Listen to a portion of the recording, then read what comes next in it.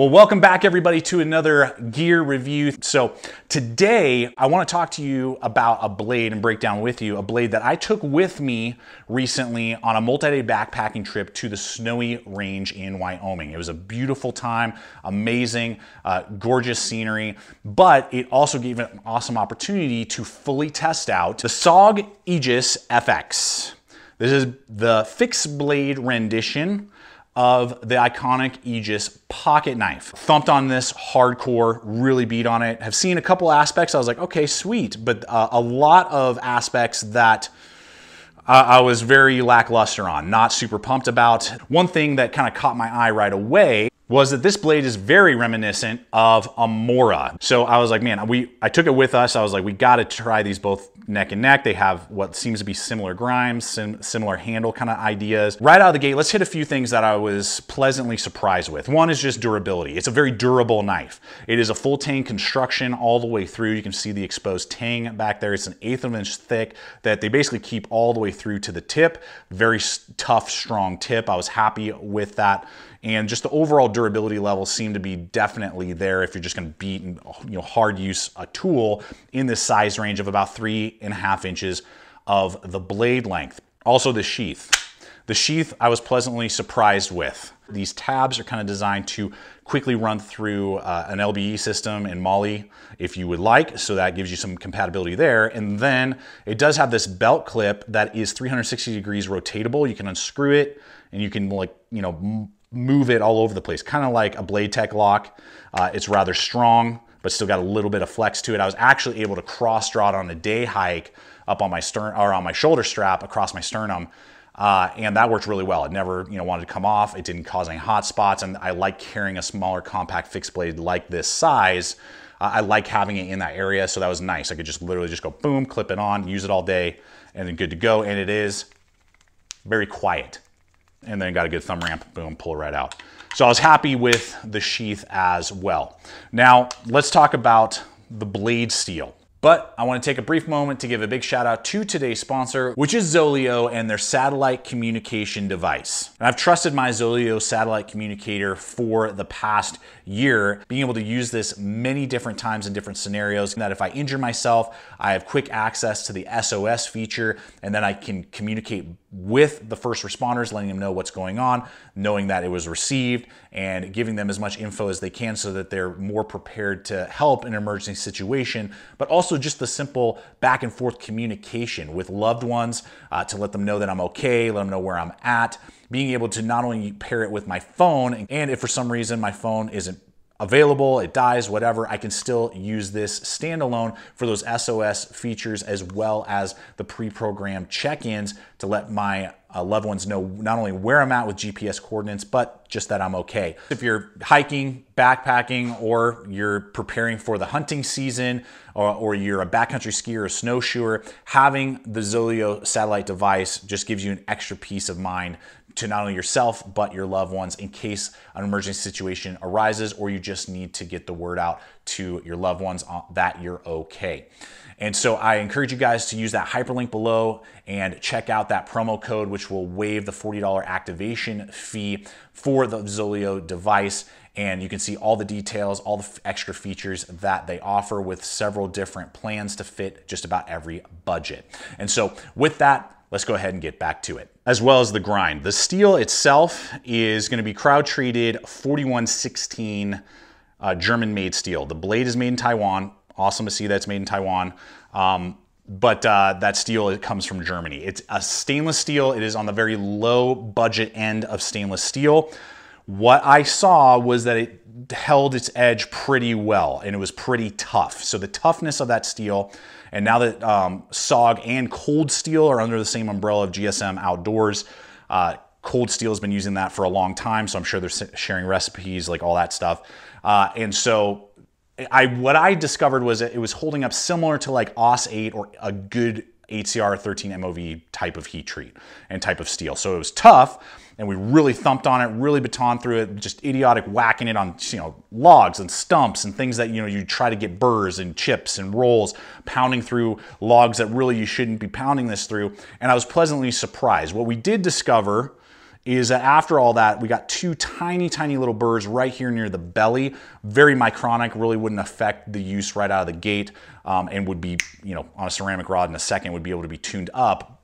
In comparison though, I wanted to see how the stainless steel on the Mora would perform it. So I did the exact same test. I went through the same amount of wood from the same resource, same tree, did the exact same idiotic pounding on you know logs and stumps and knots and you know all that stuff batoned. And we don't have a roll or a chip on the Mora. So it seems to be holding its edge slightly better than whatever uh, the 4116 is over on the SOG. It got the job done for a basic stainless steel.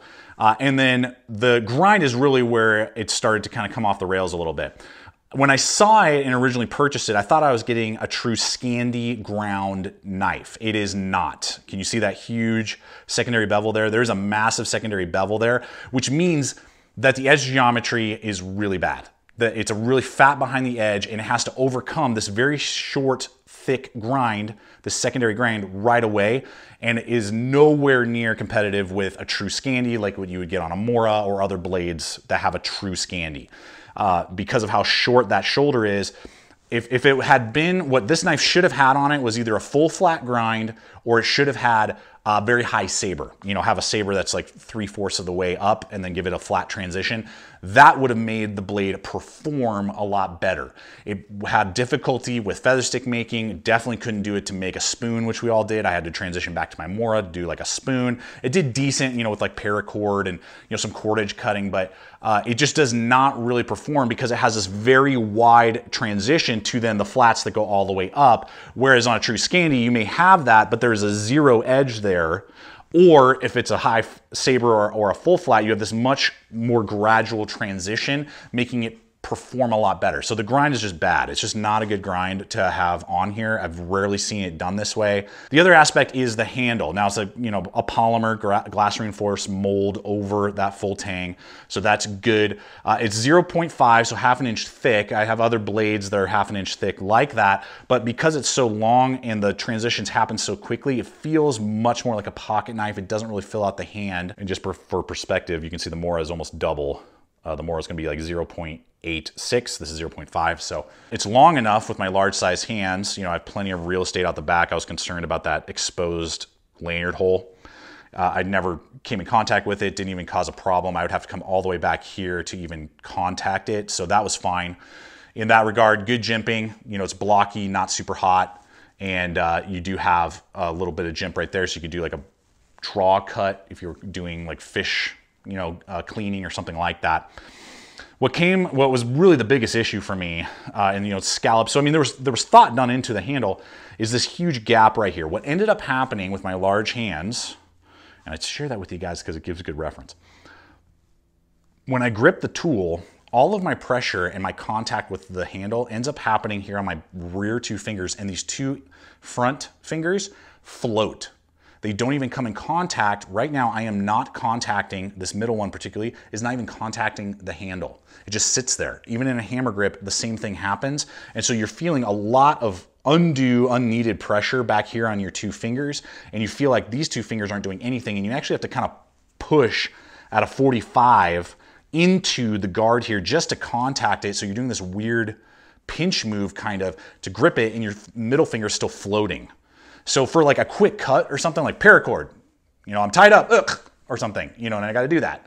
Or, you know, I just got to like cut through a, a, a backpacking breakfast or something. Sure, no problem. But if you're going to do carving, whittling, feather stick making for a fire, you're gonna do any sort of long-term cuts, it, it is not ergonomic and was not enjoyable to grip because of the way that cutting is. If it was fuller and it stayed longer and maybe just been a very gradual, almost like Puukko design, great. I would have been like, okay, yeah, the ergonomics are pretty good.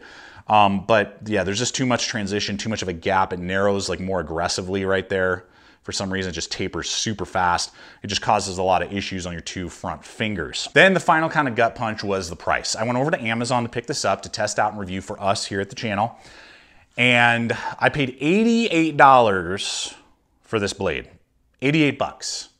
Just for some perspective, I went over to my local sporting goods store and I paid $9.99 for this Mora. Regular going rate is $13. $13 MSRP for this Mora made in Sweden. Now I know Mora is kind of like an unfair comparison, but I'm just trying to give a little bit of perspective because I, I don't know how they charge what they charge and create what they create. It's kind of mind blowing. But just for some you know perspective, income it's in that realm, and I'm having to pay almost 100. I'm pushing 100 dollars now. I don't know what's really going on. I saw some sales over on Blade HQ going for $65 was the cheapest I could find this. That is probably a little more reasonable, and especially if it was made like out of AUS 10 steel. If it was made out of AUS 10 steel and they wanted between, you know, and that was the going rate like 65 and 75 bucks, then I'd be like, yeah, for a little compact blade like this, if, if the grind angle was different and if the handle was slightly, you know, changed, then yeah, totally. Just for a competitive options perspective on pricing, here is a cold steel Finn Hawk with the exact same steel, 4116. Now, you know, they're both these brands under the same umbrella corporation. $22. Uh, this is a great uh, bushcraft you know, blade. True Scandi, good full handle ergonomics. I really like the handle ergonomics on this. In some ways, I almost like it better than what's on the Moras, uh, just because it's a little more grippy and textile. 90 degree spine, sweep blade for around the $20 price point. And then here's the Gerber Principle, made in the US with 420HC. True Scandi grind again, just a better, fuller handle.